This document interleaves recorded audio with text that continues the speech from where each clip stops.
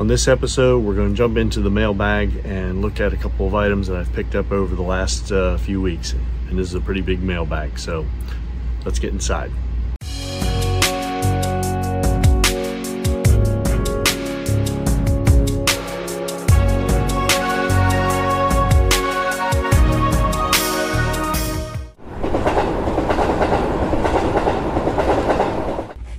Howdy train fans, welcome back to the Chattanooga Southern Railroad. Hope everybody had a great turkey day. Um, we're in the Black Friday shopping spree these days um, and I have been picking up a few things over the last a week. Um, one of which is what you're, uh, what's holding the camera right now, which is an overhead um, phone holder. And so what I wanted to do was kind of share that with you along with some other things. So first thing is wanted to share the um, phone holder with you. This is the one I bought off of Amazon. It's a Yo Yoho Tension, I guess is how you pronounce that. It's actually uh, going to be a Cyber Monday deal here for $29.99. It's regularly priced about 40 bucks. Uh, but I really like it. It was nice and stable. It's got a telescoping head. These arms are um, quite uh, firm as far as their movement and it holds my cell phone exactly where I want it. So really happy with this so far. I've got it mounted uh, to my work table here.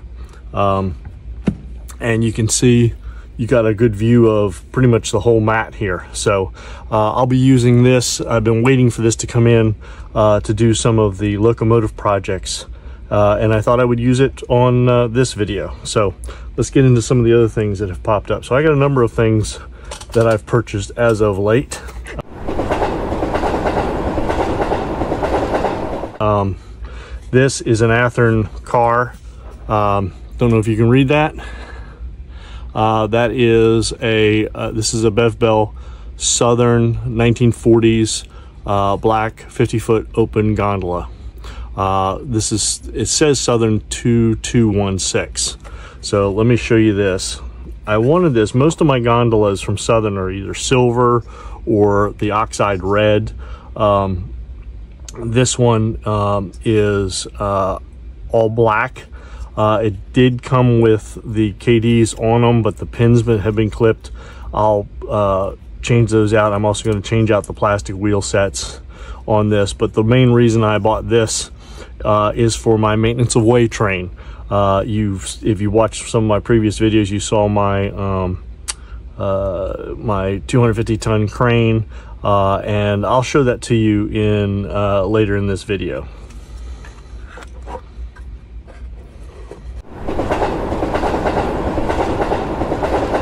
You all know I've got a fetish for Southern Railway cabooses, and this one is no uh, no different. Um, and so I found this one on eBay.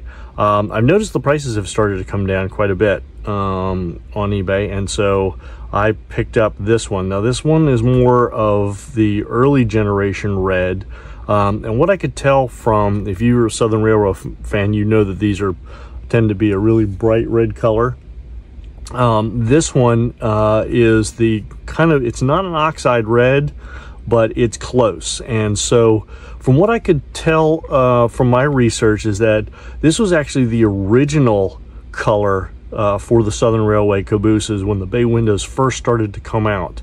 Uh, and it wasn't until later um, in the uh, the uh, I think it was the late 50s, early 60s they started to convert them over to the bright red uh, that us Southern fans uh, know and love. So I thought I'd get a earlier generation one of these, right? Like I needed another caboose.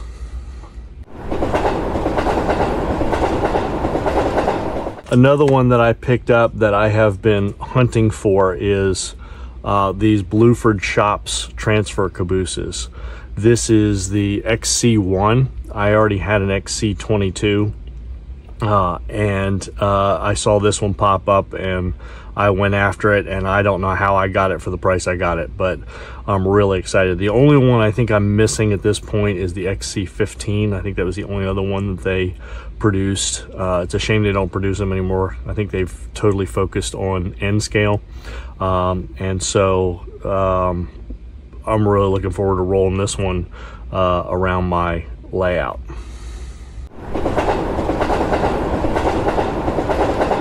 Um, I did pick up another locomotive. Uh, this is a switcher, so go down here to the end. So this is an Alco S2 diesel switcher. It's DCC ready. Um, this is my only my second Bachmann DCC ready locomotive that I have. Um, I really wanted this one because I do tend to like that Alco sound and I like switchers. I mean, my layout's not super huge. Um, and so uh, I was interested in, I'm going to try to get more and more into doing uh, decoder work and stuff like that.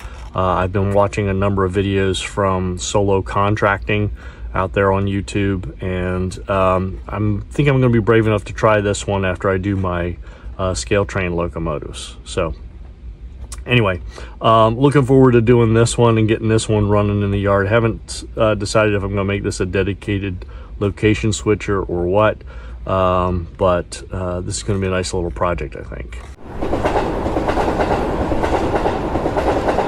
And then finally, this is one of those things. It, this is a Spectrum Master Railroader series from Bachmann. This is an older version.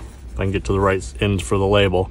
So this is the HO Speeder with work crane and car.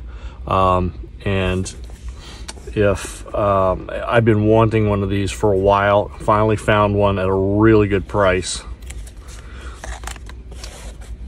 And I'm excited to have this. And you can see here, that it's got the speeder car itself. It's got this uh, crane car here with the people. They're loose from, they're not sitting on the seats. Um, I may use all of them or I haven't decided what yet.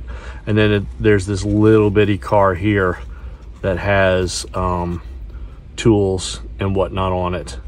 Uh, and the detail is really quite uh, quite good. I'm, I'm really kind of excited to have this as part of the maintenance of way um, equipment on it. It's hard to get that one out. Um, but you can kind of see the, the detail in this one. Um, not quite sure how the crane itself works. I Haven't figured that out yet. Strings kind of all over the place. But anyway, it's got some nice metal detail on it. So I'm really excited about that. There, and of course the speeder car itself which is, does operate. Of course, we've got some other detail parts in here. Oh, these are the drawbars between the two. I haven't had this fully open yet. I only kind of glanced at it before this video. Um, you can see it's got some really pretty nice detail and it's hefty. The whole thing's metal. Um, and apparently this runs, so I have not run it yet. Um, I'm going to give that a shot and see um, if that works uh, going forward. So there we go. Kind of excited about that one. So here's one of my special acquisitions as of uh, this last week. What you see here is this photo, this print here of the Southern uh, Pacific, uh, not Southern Pacific, but Southern's Pacific locomotive, the famous 1401.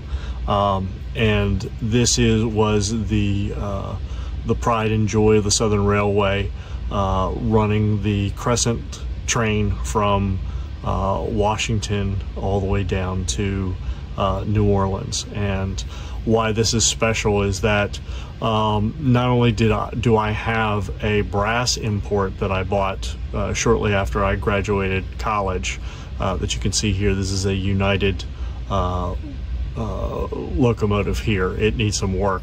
Hopefully I can get this uh, with some DCC um, and sound put into it, but that's for a, a, later day. It does have a number five coupler on it, which is uh, great. I did that years ago, or I should say decades ago. But why this is important uh, or special to me is I've also been down to the Smithsonian, uh, the American History Museum, and you can see a picture of the original, the 1401 uh, sitting there. And I've been down to visit that locomotive. So uh, to, to have not only the model, but this print that I just got recently, and having seen that in person, and I actually have some pictures of me standing next to it, um, just is just fantastic for me. So uh, really excited to have uh, this this print to kind of go with the experience of seeing it and having the model here. So.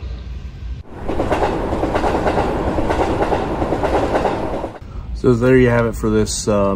Couple of really neat things. You actually see the holder up here for the that I bought from Amazon. Um, and I'll kind of turn this a little bit so you can see there's the arm comes down and it mounts and I've got it mounted right down to uh, my right next to my light base as well.